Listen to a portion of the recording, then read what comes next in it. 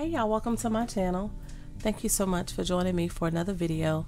Please excuse my hands. Um, I don't have any nails or anything on because I have to go in the hospital in a few days. If you have not seen my life update video, I'll link it down below explaining why. In this video, I'm going to share some packaging that I created. Here are the cute little boxes that I made. I was inspired by the Paper Pixie. She had created some Ghirardelli square treat boxes, so I enlarged her idea and created these. I was going for perfume bottles to put like shaker mixes or small gifts in, but my husband said they look like mason jars. My daughter thinks perfume boxes as well, so that's what I was going for. So for these boxes, I used the Echo Park Wedding Bliss collection. I got a couple of these when they had their clearance and I really love the black and whites and golds in this paper. I also used some of this glittery foam. These little labels from this Spellbinders die set. When they had a lot of their kits that they were selling on clearance, I bought some and they had these little dies in there. The gold on the other box is some of these card layering pieces. I got these from Tuesday morning and they came in silver and gold. And then I use these dies right here for my borders. This one right here is a Gina Marie Designs die. And the other little squares are created using this Elizabeth Craft Designs. This is the dashing rectangles. I also use my envelope punch board to get those top pieces and I'll share with you how I did that and I will also leave a link to the Paper Pixies tutorial down below. So for the first box, I use one of Monica's flowers. Here's where I use that Gina Marie die and the foam. And I just use some, I'll use the Duralar clear film. You can get that at the fine art section. And then here's where I use those little labels again with the foam and some black glitter paper. And then I use this um, sort of brown copper copper looking seam binding with black. And that's the back of it. I really love this damask paper. It has that hearts on the inside. And then on this one I use that gold background paper. And I have some glitter pink on the inside of that because my piece was cut a little big. I had some vellum with some roses on it so I used that. Another one of Monica's flowers again with the label on top with the gold paper and some pink and white seam binding so that's how that one looks. And I will share with you how I created it. Create this, you will need a piece of cardstock that measures 8 and 1 fourth by 8. You will also need an envelope punch board or some way to make the top. And then I use dies for the center, but there are ways that you can create that center opening if you have like one of the finger blades. Okay, so I'm going to start with my scoring on the 8 inch side of this paper and the first score will be at 3 fourths.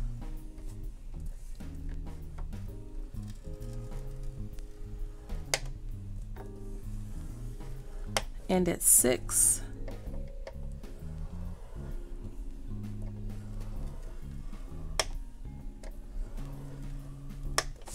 I will turn once to the left, but the the way you turn the paper really doesn't matter on the eight and one quarter inch side I'm gonna score again at three fourths. Three and three fourths.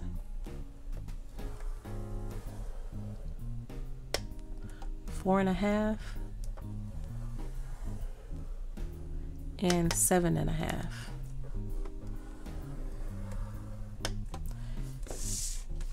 And that's all the scoring you're going to do now let's fold on all the score lines.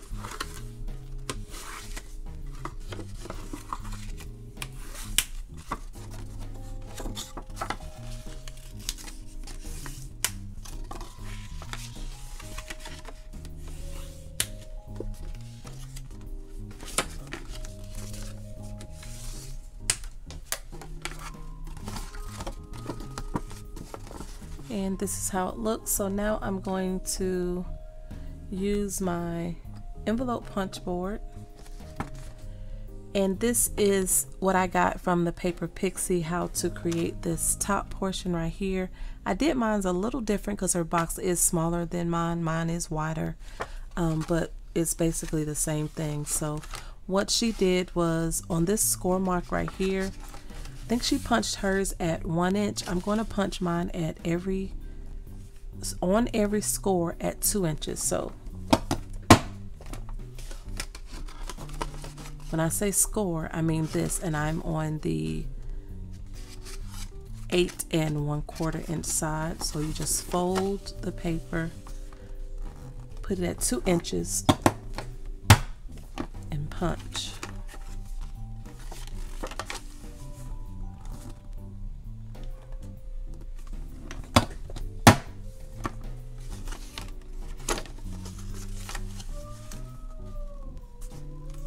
And punch. Now to get this little curve right here at the top of the box, what you want to do is this piece right here. So I'm at the first score. The little piece that comes down, you want to have that immediately to the right of where you want that little indentation. So I'm immediately to the right. I'm going to punch. This is what it creates. On this one, you want to be immediately to the left because you want it on this side. So the line will be to the right, the little punch part will be to the left. And you want to do the same thing on these two larger pieces. So the punch is to the right, and then on this one, the punch is to the left. And it'll look like that. And that's all the punching that I did. So now, what I did was for the bottom of the box, you have two little boxes on each end. You can cut one of those off because you want to create the tabs to close the box. So I'm just going to cut this one off here on the right. I'm going to cut up on this one, angle it a little bit because that'll be the tab to help keep the box closed on the bottom. Come on. And then you want to cut up on this one and I'm going to angle this piece here on that side. Now on the top, I'm gonna flip it upside down.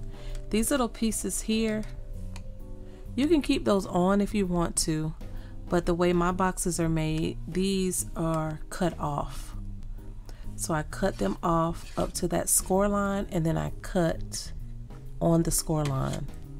So just cut on the score lines to cut those pieces off.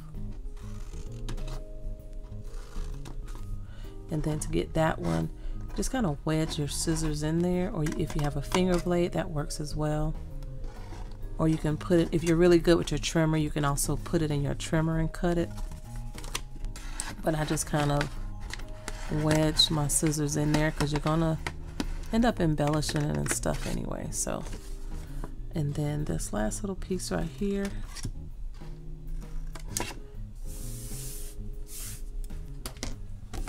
and then you'll get something that looks like this. And if you want to cut this off down there so it'll look even, just cut it down to where it opens like that. And I can't cut straight, so. And then this one. So it'll look like this. So then all you have to do is put it together.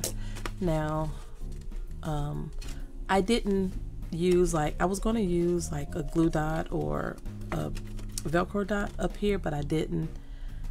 I just put it together. So you put adhesive here and then adhesive to close the bottom of the box. If you want to create the opening in the front the way you do that so you get you some nesting dies these are just some basic rectangles. I'm sure a lot of people know how to do this so what you want to do is to create the opening, you want to use the smallest die. To create the border to go on the outside, you want to put the small die and the next larger die up and it'll create a border that goes around this.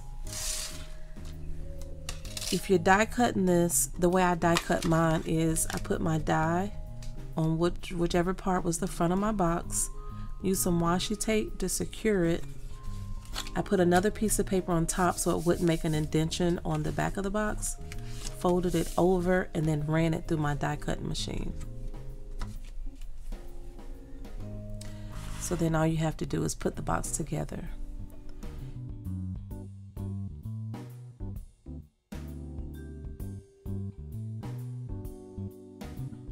If you have any questions, please leave them down below and I'll get back to you as soon as I can. Again, I'll link the Paper Pixies tutorial down below because like I said, her box is a little smaller and it does fit a Ghirardelli square. And it's a really cute, it does look like a perfume box as well, I thought. Thank y'all so much for watching. Thank you so much for your prayers and your positive vibes. Have a great day. Bye.